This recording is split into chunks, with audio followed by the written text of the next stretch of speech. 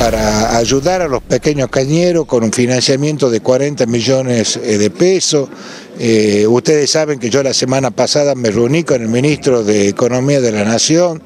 eh, Kisilov, para ver cómo vamos solucionando el tema de la industria azucarera, que es un tema que nos preocupa mucho.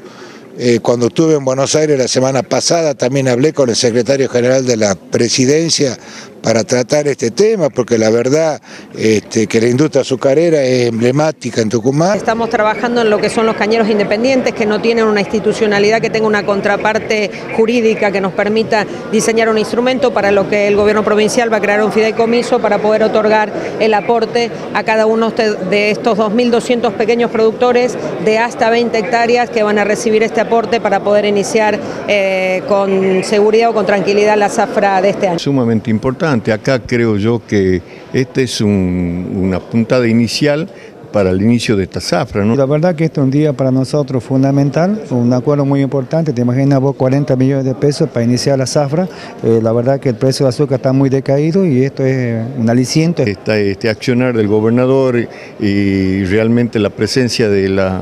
de la secretaria Carla de Bilbao realmente son bastante positivas. Aparte esto va para una gran cantidad de productores chicos que están en, cooperativa, están en consorcio. A ver, eh, son aportes no reembolsables al Estado Nacional, o sea que estos fondos quedan en el gobierno provincial y en cada una de las instituciones. A la par que vamos haciendo estas discusiones y estos instrumentos, estamos también eh, trabajando para poder incrementar lo que es el corte en la participación del,